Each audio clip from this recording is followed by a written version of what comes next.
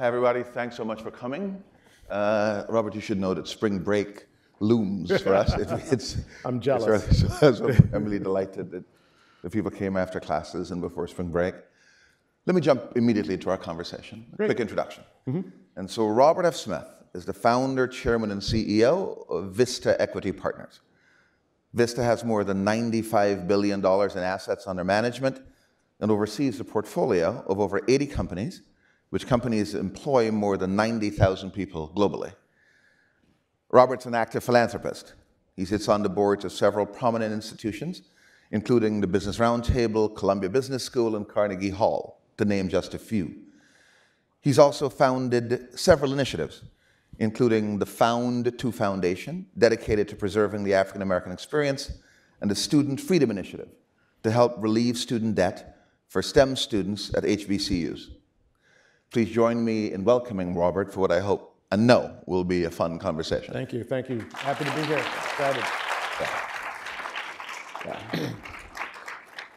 So, Robert, I have an empty card here for things that emerge in our conversation, and Good. a couple of themes I want to make sure I hit. Why don't we start at the beginning? Sure. I think beginnings are a nice place to start. I care very much about origin stories. Hmm. Okay. So, you're from Denver, Mm-hmm. I read, Right. born and raised. Yeah. And before we get going, I'm curious about your path. Boy born in Denver. And then you leave Denver and you go to college in New York. You're doing engineering, I believe. Talk to me about Denver, Mm-hmm. Sure. Cornell engineering. Sure. It's um, and again, thank you and thank you all for welcoming me to this beautiful community. Um, uh, I, I will say, you know, I've, I've always chuckled, and I'll, I'll say this because I don't think we're being recorded. You know, the smartest students always come from Yale. Um, the hardest working are from Cornell, uh, uh, and the most diligent are from Columbia. But anyway, um, we ignore that other place in Cambridge. But uh, I think it's im- important. Origin is important um, because I always think about it, it's what informs who you are, and it creates that initial impression uh, about what it is that you are here on this earth to do. I grew up in what I call a beloved community. Um, many of you are uh, too young to know an America that was deeply segregated. You know, I grew up in an all-black uh, community, all-black neighborhood. Uh, at a point in time, I grew up in 19, was born in 1962, before uh, African Americans had voting rights and had, you know, a number of the civil rights that we that we have today that we still have to continue to fight for. But I do recall growing up in a community with my parents uh, and the community members who were who, who cared about the children in our community. A village, kind of. Yes, and I saw it every day expressed. Expressed in, you know, if one of us had to go to the store, you saw, you know, the, the people looking out the door and making sure you were okay. And if you did something wrong, your parents would know by the time you got home. Um, and all those were, were, were elements and expressions of, of, of love and care. Uh, I saw the structure of it. Uh, my father, um, my mother, both they both had doctorates in education. But I saw things like uh, at a period of time when we used to get a lot of snow in Denver, um, fourth generation from there, uh, they wouldn't come plow the streets for days in my neighborhood. And we were going through busing to desegregate the schools. And so four or five days later, a bus would come through, we get on the bus, go to school, and then we go to the other neighborhoods, and guess what? Their streets were not only you know plowed, but they were dry. They had been plowed three, four days earlier. And my parents, you know, course, found out about this. Were incensed. My father created a, a it was called the North City Park Civic Association, and in essence, pulled together a group of community leaders and said, "This is this is unjust and it's wrong. Here's the problem. Okay, if you don't plow our streets, we can't get to work. If we can't get to work, our children don't eat." Mm-hmm. And so they brought that effort to bear, I'll call it almost immediately. And I remember within a couple of years, from kindergarten to second grade, we at least got one line plowed down the street mm-hmm. um, where we could now, you know, people could get to work. Now, of course, my dad's like, now you have to go shovel the snow, me and my brother, to mm-hmm. get to that one line in the street. But it made a huge difference to have a community that cared, and my parents and others in the community cared about the well being of the whole community. Mm-hmm. I saw that through the implementation of the Head Start programs as well, just making sure our kids had the ability to, you know, get meals and, and programming prior to going to, to school and making sure that, you know, those sorts of things were, were, were, were managed mm-hmm. by the community, you know. And then, I, and then I'll call it the softer parts of this where, you know, parents, most of them had two, two working parents in the household where I grew up. But you know, the kids got out of school at 3 o'clock. By the time you got back from the bus, it's you know four fifteen, And guess what? Parents still weren't off work. And so you saw people in the community figuring out, okay, where are all the kids going to gather in the evenings or in the afternoons until their parents came home? And you saw the resourcing of, I call it the, you know, the snacks and the, you know, and then the older kids teaching the younger kids math or English or spelling, whatever it might have been. It was a, you know, K through six for me in that period of time. And I always felt cared for, not just by my parents, but by the adults in the community and of course other children, Yes. uh, and older children in the community. So again, that is what informed my idea of what life should be like and what living in a community should be like. And you saw people giving, I'll call it in, in, in essence, to their ability uh, in the community. Some people could actually give music lessons, which they did. Uh, some people could just give a space where kids could come after school until their parents came home. And some would do things like my parents to actually help uh, engage with institutions I see. to enable our community to advance. Let me ask, did that, what about your childhood experience informed your decision of where to go to college and what to major in once there? Right. I'm curious. Uh, it really was in high school. Um, I went to a public school, public high school. It's actually the same high school my father went to. And it just so happened uh, my junior year, they introduced computers for the first time. And you know, my mother said, "Well, that looks like an interesting course. Why don't you take it?" And I said, "Sure. I guess that I don't have a choice because my mom told me to take it." So I took this course. Uh, I'm sure many of you have that experience. I took this course and I was fascinated by it. And I asked the teacher at the time. I said, "How does this thing work?" Mm-hmm. And they said, "Well, it's this thing called a, a, a microprocessor, and, and it's it's powered by this thing called a transistor." And I said, Well, who invented that? And they said, Well, these people at Bell Laboratories. I said, uh-huh. Well, what's Bell Laboratories, right? And so they said, Well, it's this place where a lot of inventions. And I said, Well, do we have one in Colorado? And my teacher said, I have no idea. So I went down to our career guidance person and I said, You know, do we have a Bell Labs? They said, Yeah, there's one actually in Colorado. So I called them. And I picked up the phone. I called him and I said, "Hey, I'm a student. I'm, I'm at, uh, at at Denver East High School. I'm taking AP classes. I'm getting all A's in them. Do you, do you have any summer internships?" And they said, "Yeah, if you're between your junior and senior year in college." And I said, "Well, that's great. I'm a junior in high school. I'm taking AP classes just like being in college. You know, where do I apply?" And she said, "Well, you can't. Come back when you're junior in, in, in college." So I literally called this human resources person every day for two weeks Yeah. And I left a message uh, after the second day because she wouldn't take the call anymore. Um, and then I literally called her every Monday for five months. In June, I got a call back, and they said, "Listen, a student from MIT didn't show up. If you are interested, please come for an interview. We're not stop offering calling." you a job. Yeah, stop calling." Uh, and th- these were no answering machines. So my dad says, "Oh, this woman called and left a message." So, so I go out there and I get this job at Bell Laboratories, and that's where I basically end up every summer and every time I had a break from from college. So, in that expression, I always tell people a couple lessons there. One, you know, tenacity is critically important, and two, MIT students aren't that reliable. But anyway, um, hopefully no MIT students in here. I don't mean that personally because my nephew finished from there. But he's actually not that reliable either. anyway, um, something about the culture. Yeah, yeah, yeah. But anyway, uh, what I did learn though was in Bell Labs, I had a mentor. Mm-hmm. His name was Vic Hauser. Okay, he had a PhD in what was called solid state physics, undergraduate in chemical engineering, and he went to Brown. And so I'm like, well, tell me about this chemical engineering thing. And so I shared an office with him, which was a third the size of this stage, or a mm-hmm. fourth the size of this stage. And I shared an office, and think about it, I'm 17 years old, with this guy's got a PhD in solid state physics, and we talked every day, all day, for so long as he wanted to listen to me, right? And the mm-hmm. questions I would ask. And he told me about chemical engineering. And as we went through that, I learned there's only three or four places where they really produce outstanding chemical engineers, and Cornell was one of them. Mm. So that's how I learned about Cornell. I see. And that's why I decided to go there. I see. So it explains Cornell and engineering. I get that. But you don't make your life and career in engineering. Do you ever work as an engineer upon graduation? Six years. Yeah. Okay. So I graduated uh, Cornell and I worked for six years, worked in applied research and development. I earned a couple US patents, European patents, bunch of trade secrets, and I loved life.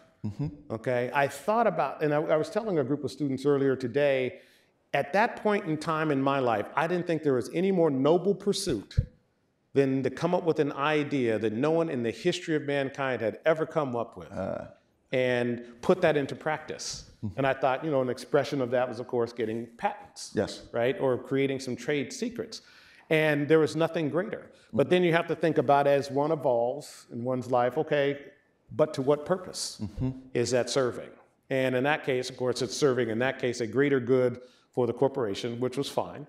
Um, but, and personally, to be able to do something, to invent something, to come up with something, to do the work, to unpack the challenge, you know, the, and, and unpack that, that problem and what I call come up with an elegant solution Yes. to that problem. That was the most noble pursuit. And then I started to understand that you can do that in multiple places. And it can actually have a wider impact and reverberation. In those times, I would actually go down to Tuskegee and I would teach a class in chemical engineering or mm. engineering to the students there. And I and I loved that work and the expression of what I called, you know, my my my pursuit of chemical engineering. Mm-hmm. But then I learned the difference between labor and capital. And that's when I thought, you know, maybe I should think, rethink about what is my next stage of mm-hmm. development. And that's when I decided to go back to business school I see. and understanding that difference. I see. So you made this decision to go to a perfectly fine business school. Yeah, We're not gonna we didn't have to diss Columbia. so you went there Right, and you got your MBA right, and you leave business school upon, upon achieving your MBA. Mm-hmm. Right. You go on to a career. Uh, you became a banker. You Yeah, Goldman, Goldman Sachs. This I know about. right, Yeah. right. So to, to, to finish that, that part of it, you know, I am uh, in business school first year and I do well. We, we had, you know, various awards. I won an award, you know, Yeah. top business school student first year. So I had to come back for the summer graduation, so between first and second year. And there was a guy by the name of John Utendahl, uh, who was a dear, dear friend and a mentor. Uh, he hates that I say that because he's so much older than me. Um, and uh, he was delivering the, the keynote address. They gave me my award. He brings me over. He said, Hey, you know, you've got a really interesting background. Have you ever thought about a career in investment banking? And I said, Well, there's a bunch of investment bankers in my class, and I don't like any of them. And, uh, and he says, uh, he says, well, why not? I said, well, you know, they, they think they know everything, and it, it's, it's, it's, it's, you know, it's, it's, and they're really arrogant. I said, look, I'm an engineer. We do know everything. It bothers us, right? And uh, I said, but honestly, I don't really understand what you all do. I don't understand what bankers. I was an engineer. I had no idea what bankers did. I didn't know any bankers outside of the ones in my class. And talking about, oh, we go on these road shows and IPOs. I'm like, well, that doesn't sound like fun. That's out of the travel. But you know, I was traveling engineer to Germany and a bunch. Right. I said, ah, I'm not sure what you do. But then I realized something. As I started talking to John, and he introduced me to a lot of friends uh, in the industry, and being a scientist, you know, you collect data. I literally did, you all think you had a hard, I did 100 interviews.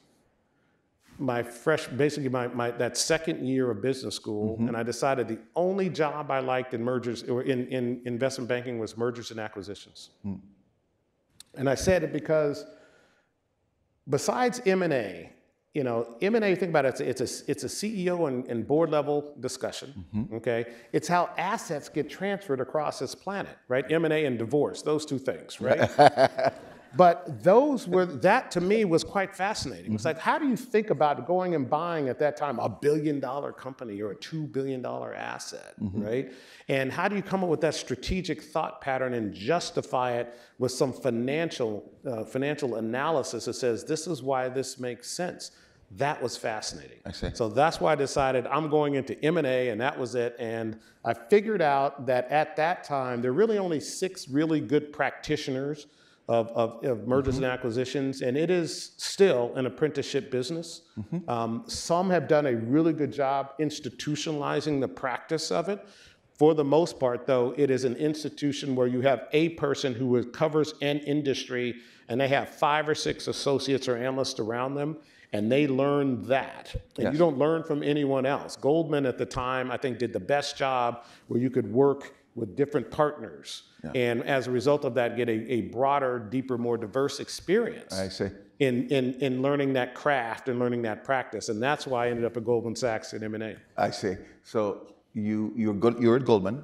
I'm guessing you're thriving at Goldman. Things are going well. You stay there for a bit, Yeah. and then you uh, launch upon the venture that that makes you world famous. You're going to found Vista. Right. That's a big step, man. It's risky, uncertain. Were there role models? What was the opportunity you saw? Yeah. You were at the time a young African American man launching on this incredibly heroic and risky, as I've said earlier, venture. Talk me through that. Yeah. You know, you and I chatted a little bit about this. I, as an investment banker at Goldman, I probably sat through in six years, I don't know, 200 board meetings advising clients. Mm-hmm. There was only one other African American in any of those board meetings once. Hmm. Okay? So I looked at that landscape, and look, I was doing extremely well. In fact, what, what had occurred was I was made what was called the business unit manager of the M&A group, 96, or, or and, and uh, I was asked to go out to the West Coast and start our tech group. So I was our first M&A baker on the ground, focused on technology in the spring of 1997. Okay, this is, you know, I mean, trees were growing to the sky, right? And I got uh, the great pleasure of working on a couple of companies. One company by the name of Apple Computer, which you probably heard of. Heard of it? I've Uh, heard of that a one. company by the name of Yahoo, a little company by the name of eBay, Yeah. a little company by the name of Hewlett Packard, Hmm. okay, Texas Instruments, Microsoft. Because at the time, no one wanted to cover those companies because they weren't East Coast based companies. And if you're on the West Coast and you were Goldman Sachs at that time, you were off in the hinterland someplace. I see. But I saw opportunity because I said, you know, if I stay on the East Coast, I'm going to be crowded out by a bunch of people. Remember those six analysts and associates Yeah, yeah. who've been around that managing director for five, six years. I see. Remember, I worked for six years before I went back to business school. So I was a little older and hadn't had the analyst experience. I came in as an associate. Mm-hmm. And so now you're saying, well, wait a minute, that person's been working with them for four years. What's my chances of actually going in and actually becoming what I call a favored son? In that context versus going out in the green field. Mm-hmm. So I had already decided to take that risk. Let me ask Was your engineering expertise and background helpful in determining or highlighting the opportunity for you? No question. Okay. Okay. Probably three reasons. One, I call it what landed the blind, the one-eyed man is. Yeah, yeah, yeah. All right. Yeah. No one knew about technology for the most part. Think about it. On the East Coast, our expression of technology was IBM. Mm-hmm. Okay, Northrop Grumman. Okay, Lockheed Martin. Okay, and the defense contractors. That was the view of what tech was. Mm-hmm. And then you had a bunch of our corporate finance people out on the West Coast, and they're doing IPOs, right, for every company that could go out. Right. But who was doing M&A out there? And we used to call them the Harm Group, We uh, H&Q, Hambrecht and Quist. You guys probably don't remember these. Alex Brown, or, uh, Montgomery Security, or Robertson Stephens in, in Montgomery Securities. And they were making hay because they actually had people on the ground focused on doing M&A. Now you go out there as Goldman Sachs, okay, and now A, I knew technology because I was an engineer, okay. B, I had actually come from the M&A group out of, out of Goldman, where we had built, and I had built some systems for doing analytics for M&A activity in this thing called, you guys never heard of this, uh, Asterix. You ever heard of that? No, okay, you heard a thing called Excel? It was a precursor to that, right? Right? Yeah. And I built a system there where you could actually now input this data and actually decrease the amount of time. So engineering decreased the amount of time it took to do an analysis for M&A activity. And most of that stuff then was stock for stock pooling, but now of course, you know, mm-hmm. different different transaction structures. And the third thing was I could actually go talk technology with these CEOs mm. and understand the expression of chemical engineering as with my generation was process controls. Mm-hmm. Okay, the prior generation it was unit operations. I how do you take oil and make you know different forms of distillates? Mm-hmm. Okay, my generation was how do you put in programmable logic controllers and control a, a, a system as, that's not analog uh, from di- from analog to digital. Mm-hmm. So I could actually go in and have these conversations with these CEOs and at a, you know in some cases the bit to byte level that none of these bankers could. Got it. That was a key differentiator for me so that certain of the CEOs would say, no, I want Robert here. Yeah. Because he actually understands what it is that we do mm-hmm, mm-hmm. and how it actually works. Mm-hmm. and I use that as the advantage to create the relationship I see. I and, see. and excel, accelerate my career on a relative basis there versus New York. So, it, does expertise now, we're going to talk about, I want to hear about Vista, the founding years, how it grew, and so forth. But you have portfolio companies under management. Right. How, what attention do you give, if any, to the expertise of those leaders? A ton. Um, So let me tell you how how Vista is expressed in the marketplace. I like to think about our organization in call it three houses in a foundation. One house is our investment team. I've got about 190 people who do nothing every day but look for enterprise software companies to invest in. Okay, so we're looking for a certain Again, we don't do consumer. It's you know mission critical, business critical, enterprise mm-hmm. software. 190 people, biggest team in the world that does that. Mm. I've got about 140 people in our value creation unit. Okay, and value creation unit actually focuses on delivering what I call a set of best practices and how do you run a software companies to the management teams of the companies that we invest in and what we buy. Mm-hmm. Okay, and the third part is what I'll call the capital raising, and the foundation's all the legal compliance and all those sort of things.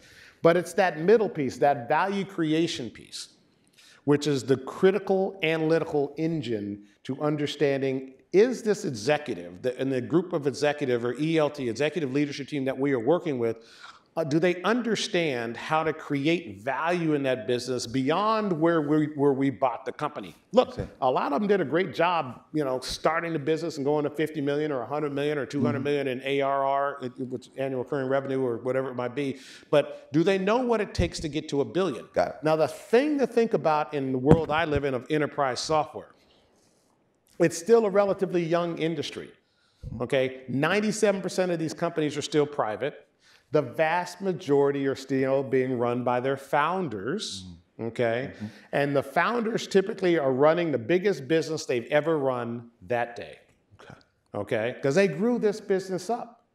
And a lot of the things they did to grow it to 50 or 150 in ARR is not the same things you need to grow to 400 or to go from small to medium business to enterprise. Mm-hmm. Okay. Or from an on prem to a cloud. Yeah. Okay. And so part of what we have to assess is do they actually understand what it takes? Because we will articulate, because we've done this over 600 times now. Mm-hmm. Okay?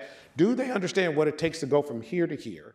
Are they willing to make the changes, the investments, take the risk associated with that?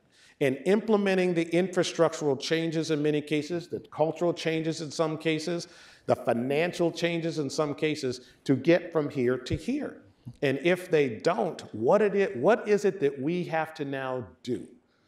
In engaging with that management team, which sometimes means, guess what? Part of that management team Might is not suited for the growth, okay? Or we have to bring people up, or we have to bring people from other parts of our organization to support what it is is the underwriting ambition. Interesting. Okay, why?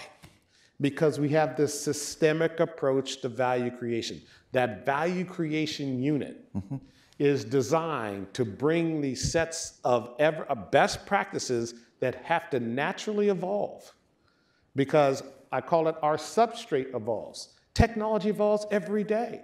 Okay, latest iteration of a public evolution is generative AI. Mm-hmm. But what's the implications of that? Is it existential risk in, in certain of your companies, yes. or is it an enabling, uh, or is it an enabling factor mm-hmm. in those businesses? Yes. So we have to focus on that as an organization, so that we can drive insights, information, tools, capabilities, best practices from a $3 billion software company to a $30 million software company in a way that effectively moves that whole organization along. I see. Okay, so that is how we think about and how I think about the organizational design and the implementation of value creation mm-hmm. and engaging with management teams to drive those businesses forward. I, this is interesting. So I, you've broken up, you've described how uh, Vista's act, within Vista's activities, there are three buckets: the identifying, value creation, and then the, I'm going to call capital it back raising. right. the capital yeah, raising. Yeah. I'm assuming that for each of those buckets, you're looking for uh, when you make a hire, you're looking for people with raw CPU. Are they good? Are they quick? Are they nimble of mind? Are they learned? That kind of thing. Curious. Sometimes. Kind of, sometimes. Keep going. but so I want to hear if you're not. I want to yeah, hear yeah. you're not. But then there's this other piece, which is that in your writings and things I've read of your statements, you believe very strongly in the power of a diverse leadership team. I'm curious about why you think that matters. Yeah. Like what evidence you believe exists in the world out there that you've encountered, that diversity per se is relevant for the management, the proper management of business. Right. And um, I want to hear your thoughts about that. Yeah, great question. And I think about it in, you know, again, I'm, I'm a scientist at heart. Fair enough. You know, you and I chatted Yes, about yes. that. What, what, you know, who are you at heart? Yes. And so I believe in the empirical evidence, and you have to test it. Mm-hmm. Right. And so, you know, the good news is I've had uh, great opportunities to create testing grounds. I look at Vista today. We are one of the few gender parity firms of size uh, in, in, in, frankly, in this whole industry. I see it. I have one company, it's a publicly traded company, where the, where the CEO, is based in Wisconsin. When we bought the company seven years ago, okay, it was not diverse by any stretch of the imagination. So I sit and I talk to the CEO, Dean. I'm like, well, Dean, tell me about what, what you, you know, your, your talent practice, talent management. And like most startups, you know, I, I, I decided to form the company here. I'm going to build my team here. I'm going to hire from around here. Mm-hmm. And you kind of get what's there. Mm-hmm. Okay. And he's you know, doing well and cranking along. And the good news is he's one of those industries that's very little competition. But then he started seeing a stalling of growth in wage inflation dynamics because he he exhausted his pool. Mm-hmm. Okay, which happens, Indeed. right? And say, okay, well, so let's plug you into some of our other, and we create pools of talent and on ramps of opportunities where I think about it. Like I run a, we have a program called Intern XL you gave, I gave you my expression of how important an internship was for me. Yes. And so now I have an Intern XL platform. We've got 19,000 students who come from HBCUs or MSIs, minority serving institutions, STEM oriented only, who now have, I think we have 200 corporate clients. I said, plug into this channel. Mm-hmm. Okay, because we do aptitude testing, personality profile, all that sort of. And then all of a sudden he said, Wow, I had no idea. Of course you didn't, because how would he? Right? And now we create floods of talent into his organization, mm-hmm. and then floods of talent, of course, in the C suite and the board. And guess what? We were actually able to inflect the growth of the company. Okay? So the way I like to think about it is well, what was the empirical evidence? Well, I see an inflected growth Yes. okay, and profitability of a business. And he will tell you it's because he, he, he levered our talent engine mm-hmm. in order to now find highly qualified, highly talented people. And we have a whole boot camp system we can talk about later in terms of how we teach, train, develop our people mm-hmm. so they can now fuel the infrastructure of growth. Our average company, between when we buy it and when we, we have our, our, our sale, grows 20% organically. Okay? Remember, the raw materials, the cost of goods and software is people. Mm-hmm. Okay, so we have to hire, I've got 96,000 people. I have to hire 15,000 people this year. Okay, well, how do you do that? Now, you can come to Yale and we'll get 100, right? All right. Or you can say, let me spread out the widest net possible and create systems to evaluate. So, our talent system globally 1.4 million people apply for jobs at our companies every 18 months. Wow. We test 400 to 500,000 every 12 months. What, what are you testing for, Robert? I'll tell you in a second. All right. And then we hire about 10 to 15,000 out of that talent pool. Okay. In our C suites, I think it's 80% of our C suites come from someone who has already been in our ecosystem. Teach, train, develop, and then keep them engaged in the ecosystem, and we find that to be effective. We do two things mm-hmm. in testing. We're looking for, I call it aptitude and personality profile. Okay, this is a long conversation. We should do this in one of your management meetings, but let me unpack it really quickly. This test, the early iteration of this test, is actually 40 years old. There was a little company called IBM that used to do a thing called a data processing aptitude test. None of you all, besides maybe four of us in this audience, mm. ever remember anybody know, heard of a thing called a punch card? Yeah. Eight. Man, love it. Ten people. Love it. Okay, I see a few gray hairs. there. They're like, yeah, I remember that. Right, Fortran, you got it, right? well, the way this used to work back in the day when you would write code is you'd actually have to write, you had 128 characters that you could write on one card. Okay, and that would be one line of code, and then you'd have to write another line of code on the next card, and it would put a punch, and then you'd have to put them through a compiler and run them. Mm-hmm. And so, the, when you write code, you'd actually have to look and see, you know, how you were writing your code based on how these lined up. So this is a memory test at the end of the day, mm-hmm. right? And so IBM figured out if they just did some simple tests on memory capacity, you would find out who would actually be good at data processing. Mm. Pretty straightforward, right? Yeah. Great. So that's kind of point one. I see. Then we found out the way to do this is we go to our best developers in our companies and we, we designed a similar test and we test them and they'd all have a similar profile. Yeah. And we go to our best salespeople and test them. They'd all have a similar, and our best services people, and they'd have a similar profile, right? And so when you do that, when you're looking at entry level people, Yeah. you take their test and assess them versus how your Ah, best people work in each of these characters. see. So that's aptitude. I see. Then there's personality profile. It's a different thing, whole different test, right? Okay.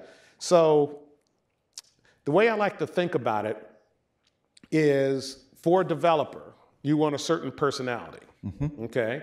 And for salespeople, you want a different kind of personality, Right, right, right. And so you want to assess it with your with your your developers. You want them to be, you know, absolute.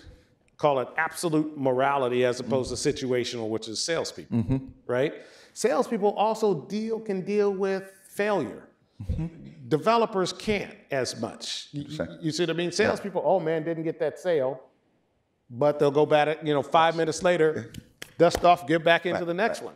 Developers, it might ruin their psyche for a week, mm-hmm. right? The thing not to converge or something. Yeah. So you've got to figure out, and so what we do is a lock and key system. So it isn't as simple as just te- testing aptitude or personality generally. We do it specifically for job function. I see. And as a result of that, we actually have much lower attrition in our new hires, which ultimately creates lower attrition long term. And for any of you who've ever been in corporations or have run them, what you find is your best, most productive people are well suited for that job. They want to do that job, and they've been there for a long time Yes. okay, longer tenured. That's the dynamic we're looking to systemically create across all of our portfolio companies. Mm-hmm. So that's part of that value creation system that is unique. There was one of the young people in the meeting earlier say, well, how is Vista different? Right? That's one of those, no one does that. I see. It's a lot of work, mm-hmm. but in my mind, it is one of the key value creating activities that we do for now over 23 years. Interesting.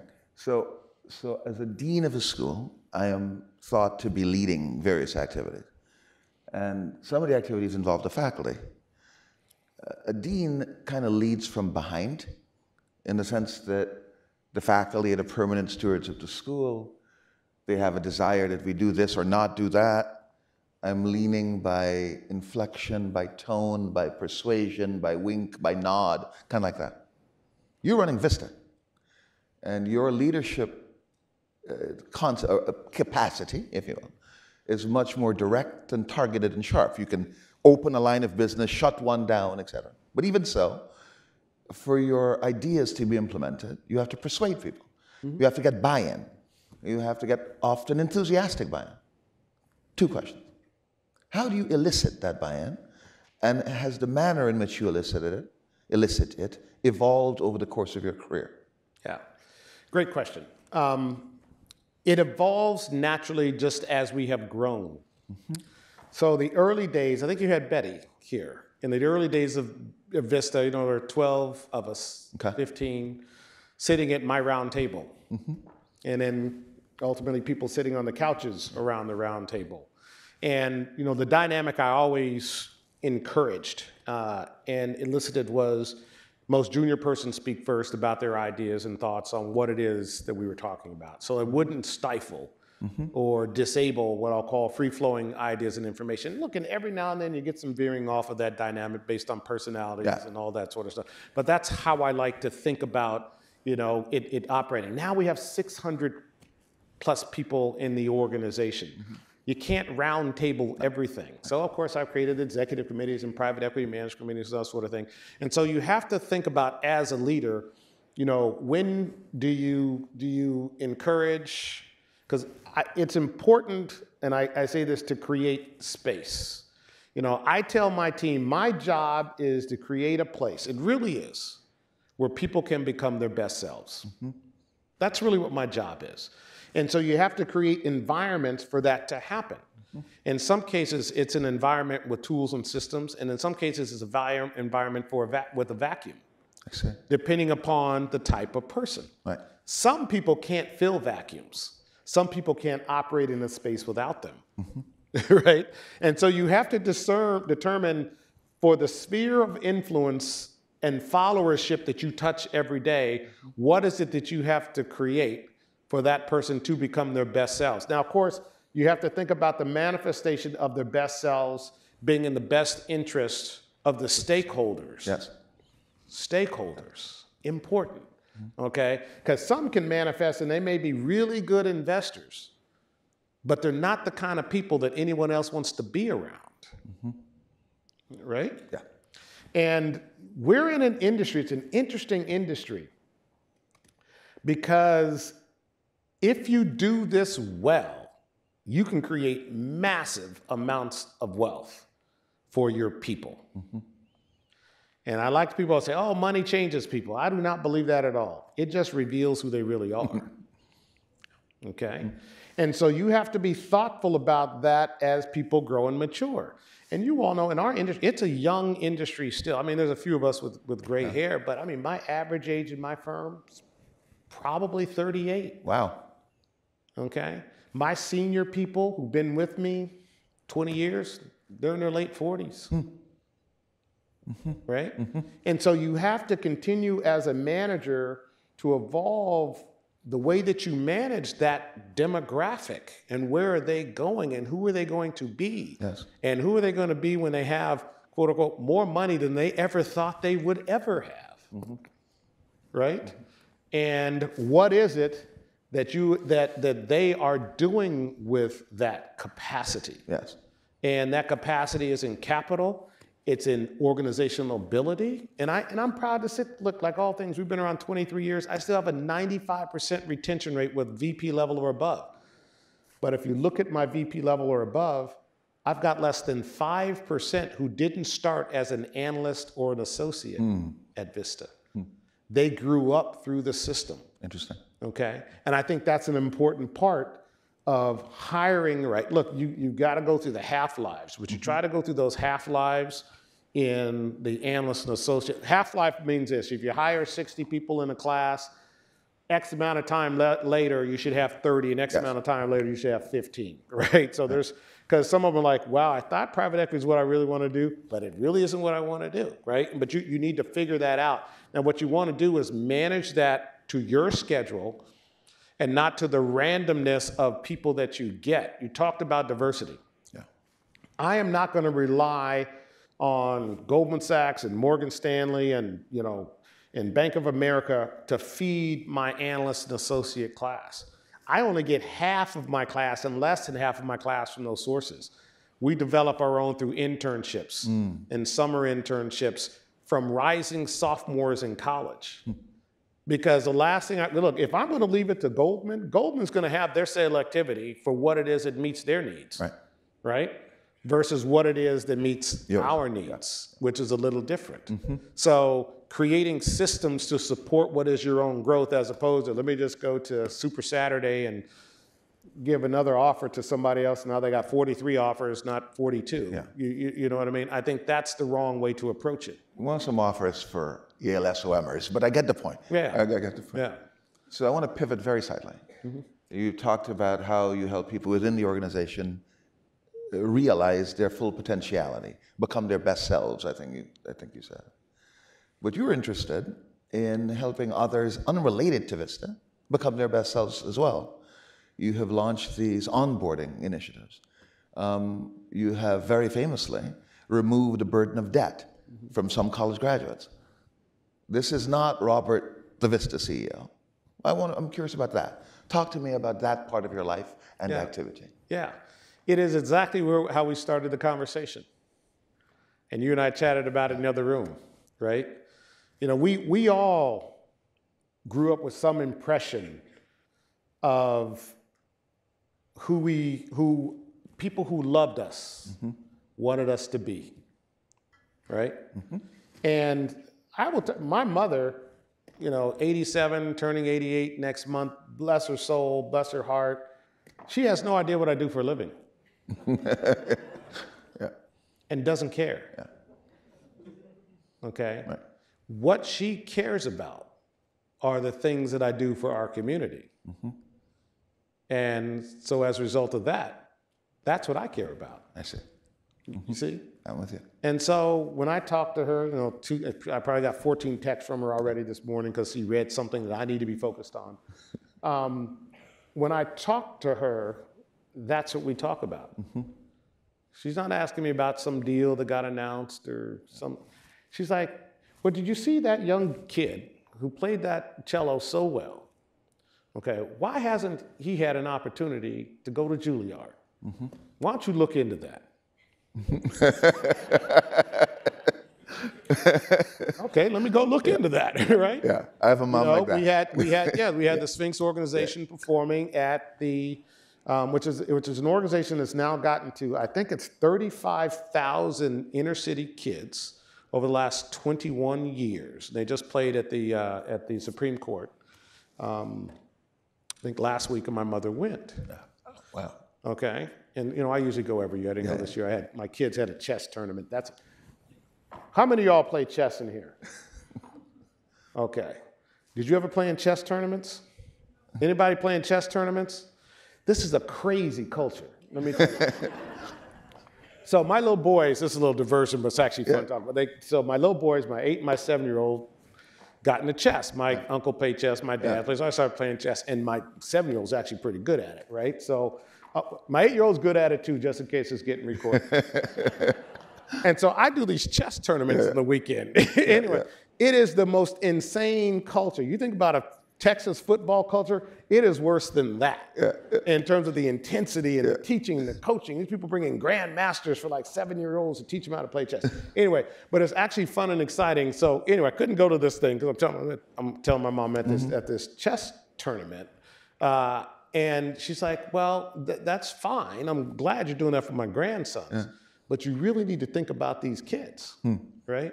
And so when I think about you know the priority of my life, that is always something that is in my ear. What am I doing for my community to enable my community to more fully participate in things that I know about that they may not? Hmm. Science, technology, you know, private equity, finance, and so those music Yes.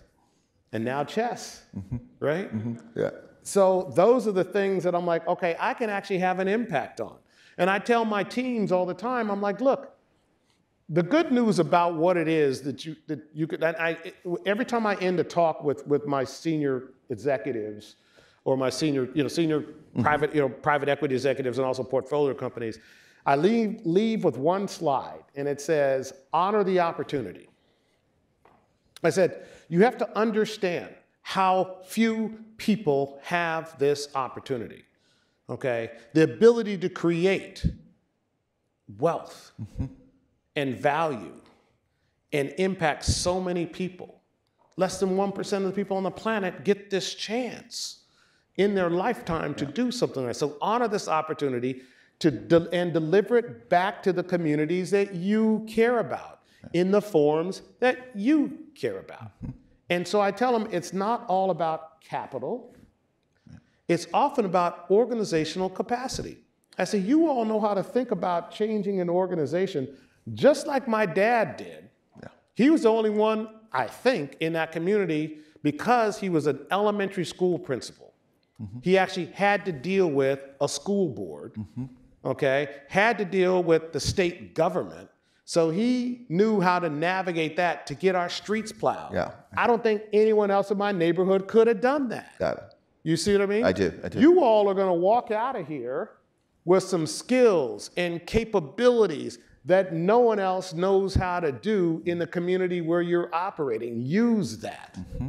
And that's what I encourage my team to do. That's, that's wonderful.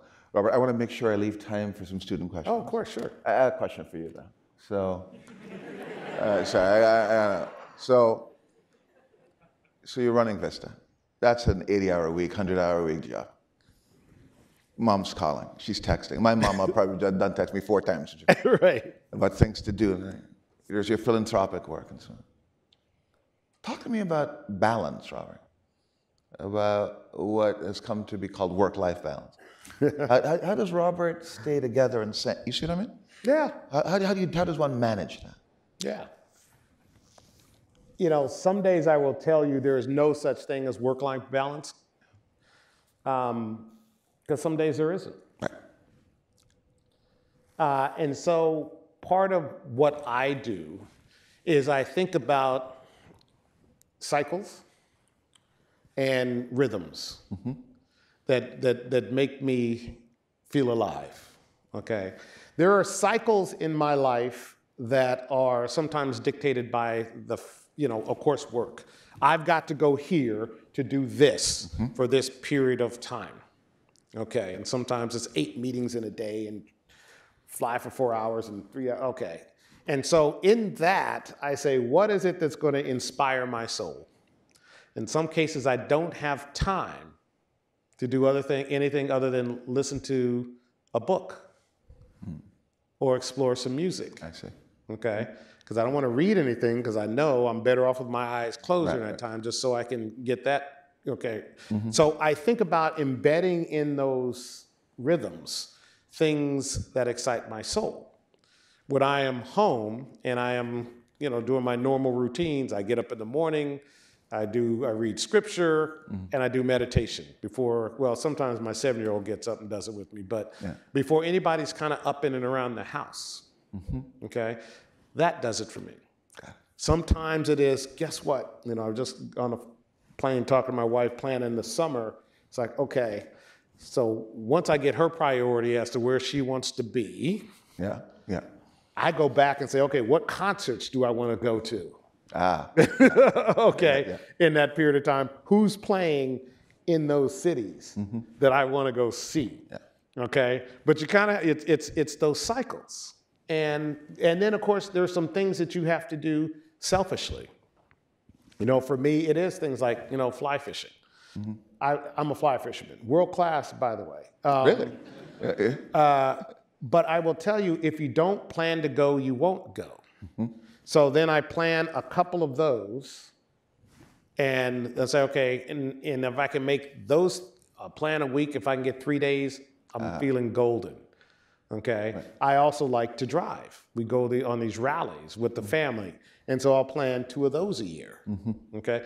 So I just try to embed these cycle with, within those rhythms and cycles, elements that actually swing the, pe- the pendulum see. of work and life. Okay. Mm-hmm. If you go, like some of my tours are insane in terms of the, the travel that I have to do. I mean, ridiculous. And I will tell you, if I don't embed the things that, that keep me uh, excited, you, no one would do it. There's no amount of money that's worth that. Okay.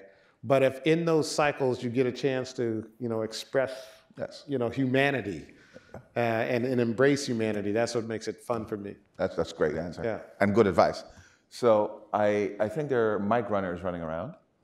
Um, let's turn the last few minutes over to some student questions right. or the questions from the audience. Four up. We've got one here. Mm-hmm. Hi, Mr. Smith. Um, thanks a lot for a very inspiring lecture. Uh, my name is Stacy, a first year MBA student.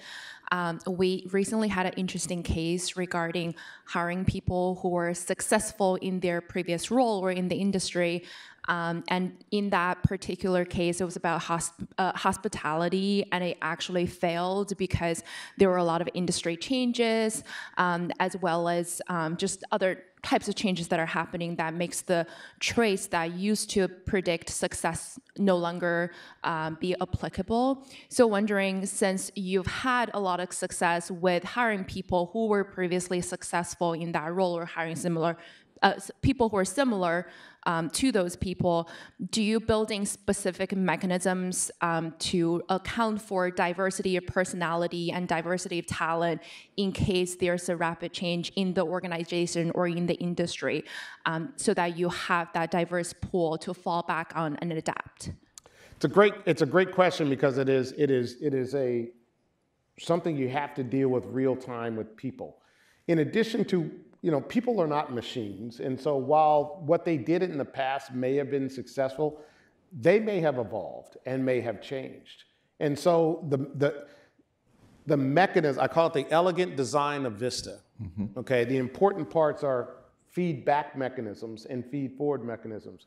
My operating MD is Betty, okay? Yeah, yeah. Right? The most important thing that they can do, beyond, not beyond, the most important thing is staying in tune with the executive leadership team of that portfolio company and how they are progressing against the underwriting case and what it is we're looking to accomplish. And in some cases, you're like, mm, they did well the last two times, they're not doing well this time. And you have to recognize that because those past two times, they may have made enough money that now they're only coming in the office periodically. They're not building succession plans. There's at, every system atrophies over time. Okay? And so that's part of the role and the dynamic as an executive team is what is atrophying. Okay? And in some cases, if we're holding a portfolio company for a long period of time, we did a great job with talent management or BPSS or whatever it might be, or you know, one of the things we implemented, and you go back and inspect, and there's some atrophy because the people who implemented it left. They are no longer as interested. All those sorts of things. So it's a great question. So as a senior leader, you have to understand people change, they evolve. They may not want to do that any longer, and you have to be prepared to take action and find other people who can be successful. None of this is perfect. Uh, and maybe that's why it's still a joy to do it, to kind of figure that out. I don't think there ever is an end goal in state where you don't have atrophy in these businesses, contrary to what you know generative AI may tell you. It's an important part of being a manager that you, you have to actually consciously focus on. But it's a really good question, really good question. I can't, I can't see, so. Um. Hi, um, my name is Susan Reed. Um, Mr. Smith, I'm spellbound being here. This is amazing having you. Um, my question is around your philanthropic strategy. So, do you measure success based on social return on investment, or how do you kind of make calls about where you're going to invest your money um, to support community causes? Yeah, that's a, it's another great question, and we do it different ways. So, within the Fund II Foundation, we have a few pillars that we focus on, and some are very specific measurements of what's the cost per per I'll say per kid. In some cases, it's delivered per kid. That that and and the efficacy of it. And in some cases, like we do a thing called a restoration retreat, right? Restoration retreat we do at my ranch, and we get 60 kids per cycle. These are kids who've been exposed to violence in their communities um, at a young age. There is no measurement outside of giving them tools to cope, right? So there's some things we can actually say, oh, you know, math, for instance, okay, how much are we spending per kid and how many of them go to college and what percentage graduate? And, oh, we, yeah, we do all that for certain of those. And in others, it's just like, okay, well, well, you know, what's the right size? How many kids can we house that it's effective for them, that it actually helps them heal and progress? So it all, mm-hmm. you know. But that's why I rely on my aunts. Ah, yeah.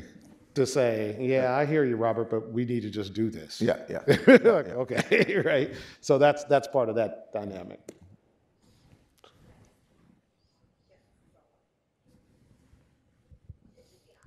Hi, Miss. Oh, here we go. Yeah. Hi, Mr. Smith. I'm Shari Chester Anderson. Um, we've heard a lot about your successes. Can you talk about some of the challenges or roadblocks you had in your path to entrepreneurship? Yeah.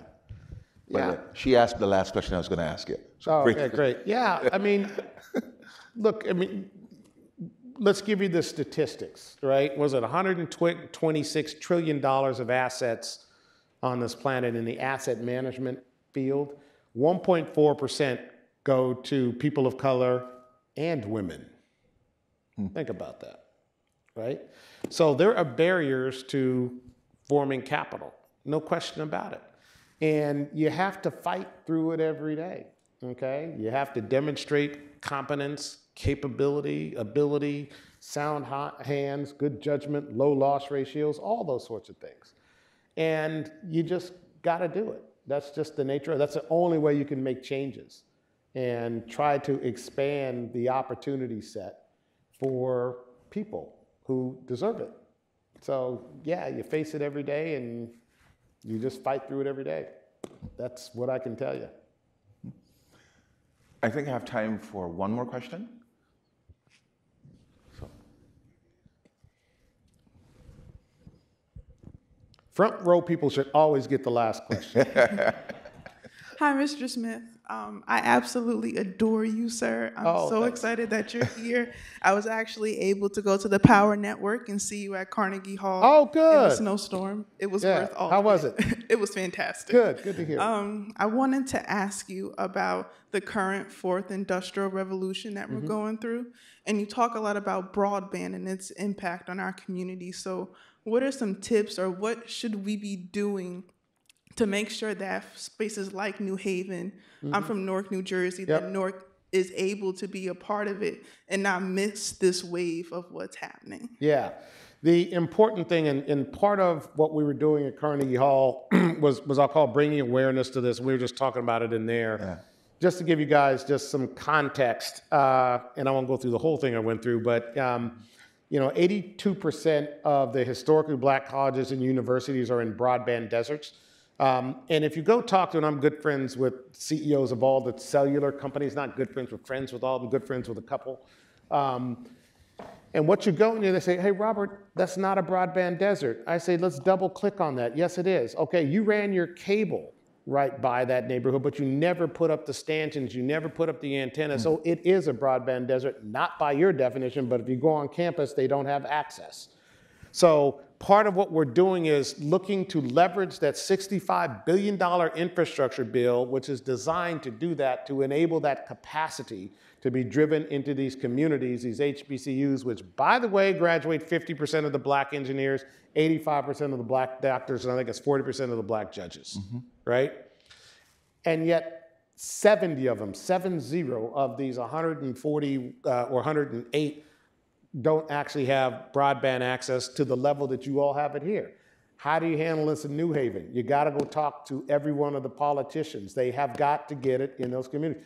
Have the communities. I just had the, the leaders of the uh, uh, uh, Congressional Black Caucus write a letter to all of them signing it to Gina Raimondo because actually it's out of her office that they actually deliver to the states. And now I've got we got at least one federal person to sign for each of the states. Now I got I was on with Mitch Landrieu on Friday. Said Mitch, give me the name of each one of these people in these states so I can now connect them to my people so we can actually get this done. What do you have to do that? It's like a knife fight, okay? And you got to get involved in it. And otherwise, it's not going to happen. I will tell you now, it's not going to happen unless you get involved. So we're just driving the call to action to get involved for the communities who need this and care about it.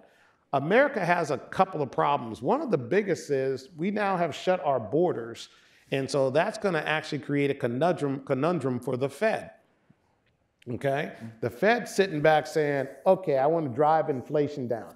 Great. We're going to get the energy and, you know, and the commodity inflation and food and all. We, we will get that under control. Wage inflation, we will not. America needs immigrants in order to grow and manage la- mm-hmm. wage inflation. Go anywhere in this country, and service workers, you all may argue differently, they're making 100 to 175% of what they made three years ago. Mm-hmm. That is not sustainable. Mm-hmm. It is not sustainable. Yeah, technology is going to, you know, obviate the need for some of that, but we got a problem. I got 800, well, not me, we have 2.8 million open recs right now globally for software developer jobs. Okay, 800,000 of those are in the US. And in the service economy, from you know, from harvesting vegetables to serving at at at the uh, at the um, you know fast food restaurants, okay, that gap is even bigger, right? And if you can't get wage inflation under control, the wages, the Fed's never going to get this down to two percent. Period. Now they're going to have to rethink. Well, maybe not two percent right? Which you all know is going to have a massive implication on the capital in this, in this, on this planet, let alone this country.